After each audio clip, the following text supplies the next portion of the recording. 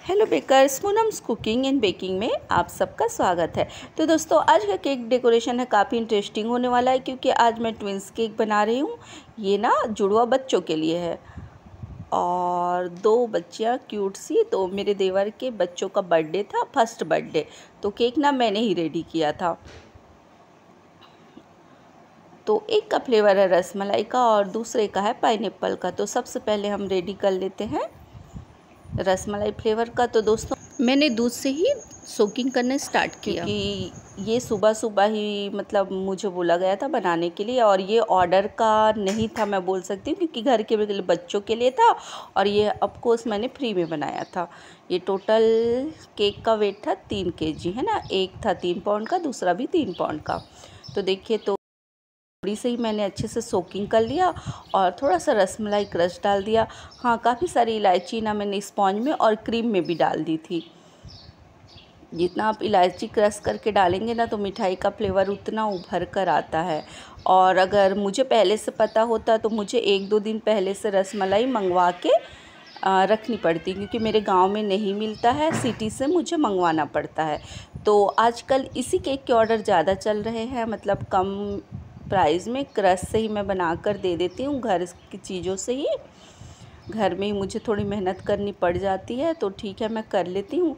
तो देखिए, इसका तो अच्छे से फाइनलाइजिंग करना मैंने स्टार्ट कर दिया। आ हाँ क्रम कोट करके मैंने रख दिया था इसे आधे घंटे के लिए, क्योंकि ना बिल्कुल मेरे पास समय नहीं था। चार से पाँच घंटों के पहले मुझे ये बताया गया था बनाने के लिए तो ना मुझे बहुत ज़्यादा मैसअप हो गया और दो दो केक था तो ना काफ़ी ज़्यादा मुझे तो टाइम लग गया इसमें।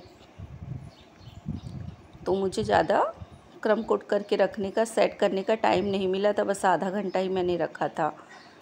तो यहाँ मैंने बहुत लाइट पर्पल सा कलर ना लगाना स्टार्ट कर दिया है। ये कैमरे में नहीं दिख रहा है बट बहुत लाइट पर्पल सा कलर है।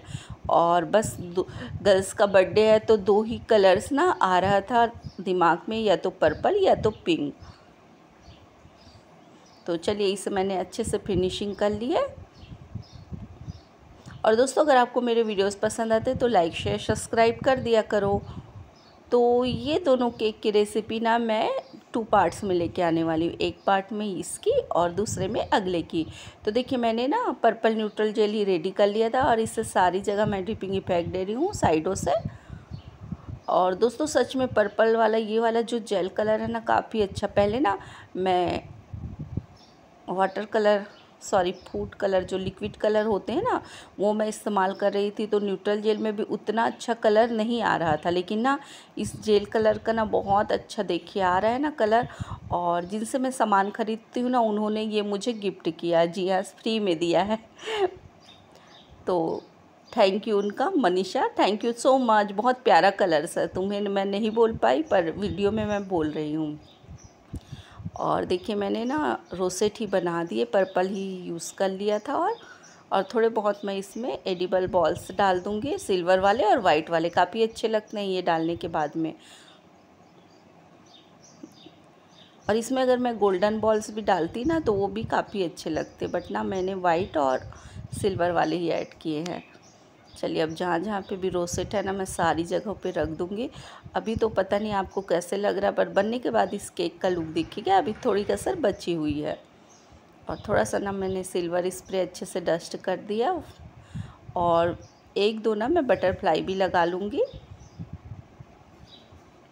क्योंकि अगर मुझे पहले से पता होता तो मैं कुछ ना टॉपर्स वगैरह मंगवा लेती, कुछ कस्टमाइज़ करती बट ना जो मेरे दिमाग में तुरंत तुरंत में डिज़ाइन आया, मैंने वही करना स्टार्ट कर दिया। तो देखिए, ये तो बहुत बढ़िया बन चुका है। फिर ना मैंने मेरे पास ना हार्ड वाले ना टॉपर्स रखे थे तो मैंने सोचा कि वो भी पर्पल कलर है तो मैं ना इसे भी ऐड करूँगी। तो दो मैंने यहाँ पे लगा दिए। तो इस केक का लुक तो ना काफ़ी बढ़िया लग रहा था, और मुझे तो बहुत अच्छा लगा।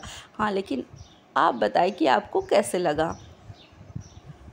और बेकर्स मेरे चैनल पर जुड़े रहिए ताकि मैं ऐसे ही ना नए नए केक के वीडियोस लाती रहूँ। और मैंने ना इसमें कोई बॉर्डर नहीं बनाया है क्योंकि ये केक ना काफ़ी बड़ा है। देख रहे हैं ना मतलब अगर मैं बॉर्डर बनाती ना तो बॉर्डर बाहर की तरफ़ निकल जाते, इसलिए मैंने बॉर्डर नहीं बनाया है। बटना पीना बॉर्डर्स के भी देख रहे हैं ना केक का लुक कितना प्यारा नज़र आ रहा है। अच्छा दोनों केक में कुछ तो अंतर है, आप बिल्कुल कमेंट करके बताइए। तब तक मिलते हैं अगले वीडियो में। धन्यवाद बेकर्स और पार्ट टू देखना ना भूले दूसरे केक के